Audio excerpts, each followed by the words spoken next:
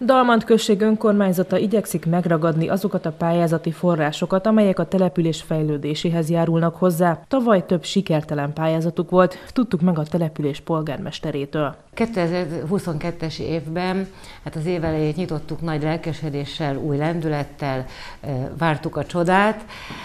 Magyar Falu programban hat pályázatot adtunk be, beadtuk a fitnessparkot, a Dalman Sportklubunk beadta egy használt autóra a pályázatát, az önkormányzat a közösségi térre, beadtuk az önkormányzat épületére, beadtunk egy Petőfi utcai úttestre, járdára. Sajnos nem nyertek a pályázataink, erre is számítottunk valójában, mert előtte levő évben azért nyertünk egy tanyagonnoki buszt, nyertünk egy játszótér felújítást, nyertünk egy Kossuth utca úttestet, és ezt mind a évelején akkor ünnepség keretében átadásra is került mindegyik pályázatnak a kivitelezése megtörtént és átadtuk. 2023-ban a Magyar Falu Program pályázatait célozzák meg, hogy megújulhasson többek között a település hivatali épülete, a ravatalozó vagy a felújításra szoruló útszakaszok. Programokból viszont nem volt hiány. A 2022-es évet egy Valentin napi rendezvény indította, amelyet egy a közférában dolgozó nőket köszöntő ünnepség követett. A gyermekekről egyik eseményen sem feledkeztek meg. A falunap alkalmával idén is az önkormányzat biztosította az alapanyagokat a főzőcsapatok számára. Ezt a vadásztársaságoknak köszönhetjük, vállalkozóinknak köszönhetjük, a képviselőtestületnek, és nyilván én is, mint polgármester anyagiakban is és a munkámban is támogatom ezeket a rendezvényeket. 13 főzőcsapatunk volt, 5 fellépő volt a falunapon, erre is azt gondolom, hogy minden korosztályt megmozgattunk, újítottunk a gyerekeknek, és már nem légvárasztunk, és nem ö, trambulinoztunk, hanem ö, népi játékokat hoztunk ami szintén egy kis újdonságot vitt az életükbe. A 2022-es évet közös programokkal zárták két helyszínen. A karácsonyváró alkalmával finomságokkal készültek az érdeklődőknek. Mákos diós kaláccsal, forralt borral és forró teával kínáltuk a dalmandi lakosokat. A Millenniumi Parkban feldíszített fenyő önkormányzat vagy Dalmand község fenyőfájánál és ezt a karácsonyváró ünnepséget, mivel külterületünk is van, Alsó-Leperden ugyanígy megtartottuk, tehát Alsó-Leperden 70 család él, és azt gondolom, hogy ott is idős emberek, akiktől nem várhatjuk azt el, hogy emiatt Dalmandra sötétbe utazzanak, ezért másnap ott is megtartottuk.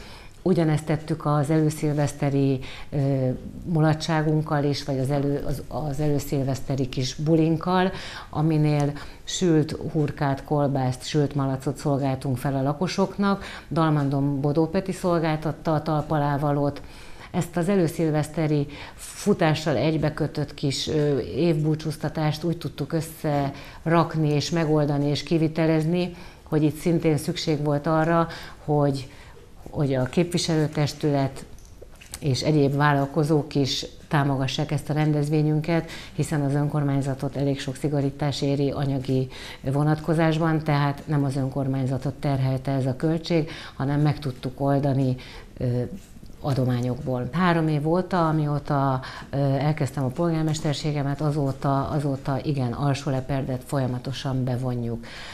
Sőt, itt említettem, hogy nem nyertünk ugye pályázatot, de alsó leperden volt egy olyan útszakaszunk, ami annyira leromlott állapotban volt, hogy lépnünk kellett, és ezt 4 millió 370 ezer forintért az önkormányzat saját költségén megcsináltatta az alsó leperdi lakosok részére, még az anyagi szorítások ellenére. Az év folyamán megrendezett sok programot a jövőben szeretné az önkormányzat egy olyan helyszínen megvalósítani, ami méltó módon viselheti a település közösségi tere címet. Még mindig egy nagy álom, hogy, hogy végre Dalmannak lenne egy olyan közösségi tere, ahol vagy egy olyan közösségi háza, ahol uh, kisbabáknak lenne babamama klub, ahol időseknek lenne egy nyugdíjas klub, ahol az ilyen rendezvényeknél tényleg össze tudnánk hozni a falu apraját, nagyját. Tehát ez mindig ez egy álom, amit, amit reméljük, hogy nem csak álmodunk, hanem meg is fog valósulni. Dalmant község önkormányzata igyekszik előteremteni azt az anyagi forrást, amiből 2023-ban is meg tudja valósítani a számtalan programot, ami átöleli majd az évet. A falunapra szoktunk a vállalkozóktól, és a többi rendezvényt azt próbáljuk megvalósítani úgy, hogy képviselőtestület és, és jó magam, most nem tudom, hogy ezt illő dolog-e így mondani, tehát próbáljuk úgy összeadni a, a pénzeket, hogy egy kis buborékkoncertet a gyerekeknek mi meg tudunk oldani. A közmunkás dolgozók nagyon szívesen sütnek nekik palacsintát, nagyon szívesen megcsinálják azt a kis jeges limonádét. A helyben megvalósuló eseményeink és rendezvényeink, hiszen majdnem minden hónapra esik egy-egy rendezvény, nem valósulhatott volna meg, és az idejében sem tudnánk megvalósítani, hogyha nem számíthatnánk a helyi vállalkozóinkra, nem számíthatnék a képviselőtestületre, és nagyon köszönöm nekik, hogy jobbára ezekből a támogatásból tudjuk a rendezvényeket megtartani. Mondhatom azt, hogy 80%-ában adományból, és 20% az, ami az önkormányzatra esik ebben a nehéz anyagi helyzetben teljes erőbedobással kezdtük a 2023-as évet. Ugye a magyar falus pályázatokat még nem tudjuk, de programilag már osztunk, szorzunk, és, és próbáljuk tervezni a, a tavalyi évben megvalósított programok idei évben is kivitelezését.